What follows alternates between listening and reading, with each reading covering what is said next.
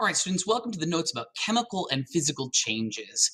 Feel free at any point to pause the video if you need to take some time to write things down. You're welcome to rewind or scrub backwards if you need to review a concept again. But let's go ahead and get started. How do chemical and physical changes differ from chemical and physical properties? Go ahead and write this essential question at the top of your page. I really recommend that you make a T-chart of chemical change versus physical change. And, and, this could take up your entire page, but go ahead and fill in the corresponding sections as we go. Let's go ahead and get started. I'm going to start with what a chemical change is. A chemical change is a change to a substance when one or more pure substances react together and change into an entirely new substance or set of substances. So a chemical change basically gets a chemical formula. Now, previously we talked about chemical properties, so how is this different?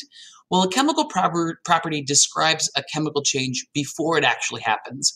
So chemical properties for a substance could describe that it can have a chemical change but haven't happened yet. A chemical change, on the opposite hand, is where the change has actually occurred and we get a new formula. Let's contrast that with physical change. A physical change is a change that affects one or more of the physical properties of a substance. And I'll give you some examples of each of these. But we do not change the identity, the chemical formula of the substance itself. Let's contrast that to physical property. The physical property is similar. You, are basically just describing the physical characteristics of a substance before it goes through a physical change. So let's take a practice. Let's classify some of these as either chemical or physical properties. So let's start with density right here. So if you notice, and you could actually look at the particles, density is a physical change, right? We could change the density. Notice that density is just how compact the particles are. If we're just changing the compactness of the particles, but not actually changing the chemical formula or structure, then that's just a physical change. An example of that could be water right? Where we freeze and where we melt water, the density can change, be more compact, less compact, um, but we're not changing it chemically. Flammability, that's a chemical change. So this is a chemical change, flammability. Uh, it's chemical because we actually, when we set something on fire, we change the chemical structure of what was there. Like think lighting a piece of paper on fire. You're not going to end up with paper in the end. You're going to end up with something completely different. Luster. So luster represents the shininess of an object. That's a physical property. So if we change the luster, like if we scratch off the shininess and make it really dull, that's a physical change.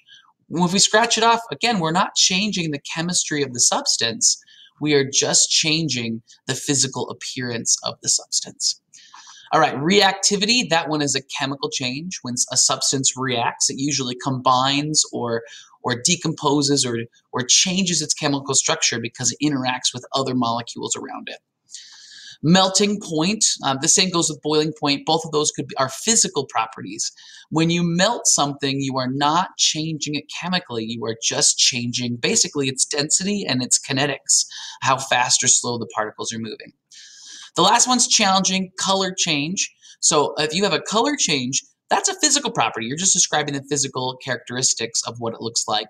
However, a lot of color changes uh, happen because of chemical reactions. So it's a little bit of a gray line, but color change in this instance is going to be a physical property. So just want to hit home and talk about those a little bit deeper. Here's one of the examples I talked about where something is melting. So here we have a solid going to a liquid. Again, the particles aren't changing, they're just becoming less dense. So this is a physical characteristic. We can look at water. So here are water particles. This is the solid phase of water. So I'm going to write H2O with a little S next to it. And then over on the right is the liquid phase of water. And again, we're not changing the actual molecules. It's still H2O in both instances. So these are still physical changes. Now, chemical change, on the other hand, like we said, we're changing the substance itself. So here we have wood. It's usually made up of a lot of carbon and hydrogen molecules together. When you light wood on fire, you end up with a completely different substance. Now we no longer have wood, we have ash, which is mostly just carbon because a lot of the hydrogens have broken off. Here we can see an example of a chemical change at the molecular level. Here is combustion, similar to what we saw with the fire, but this time we're lighting methane. So here's a methane molecule, and it has to combine with oxygen. If we light those on fire, their particles rearrange and change into something, something completely different. So notice that the particles are still here, they're just in a different format. There's the carbon, here are the four oxygens, and there are the four hydrogens in different formats. So when methane combines with oxygen and blows up when you light it on fire, you get carbon dioxide gas and you get a little bit of water that comes out of that. And that's known as a combustion reaction.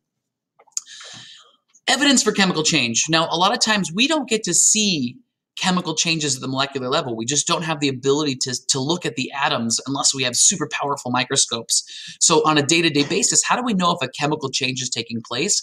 Well, we got to look for evidence of chemical change. And I underline the word evidence because it's just evidence. It's not saying this is absolutely a chemical change if you see these, but these are giving you some hints to say these are probably chemical changes that you see.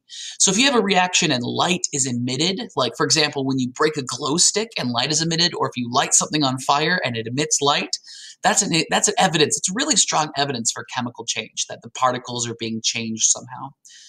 If a solid or a precipitate, remember not precipitation, if a precipitate forms or a solid, then we know that's also evidence for chemical change. Here's an example of that right here, where we're mixing two clear substances and we get kind of a solid, snotty substance.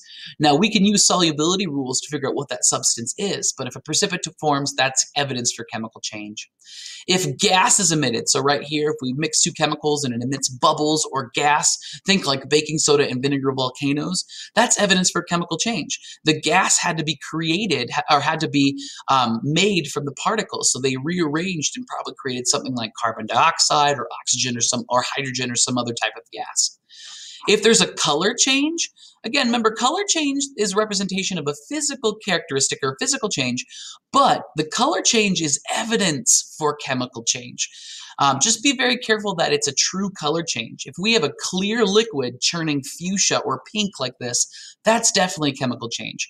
But if we're just adding food dye to something, that's a color change, but it's not really a chemical change. So color change is, watch out for that. It's evidence of chemical change, but it may or may not be chemical change.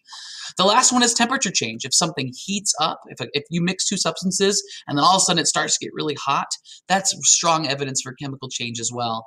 The same thing, it could get really cold. Think of an ice pack.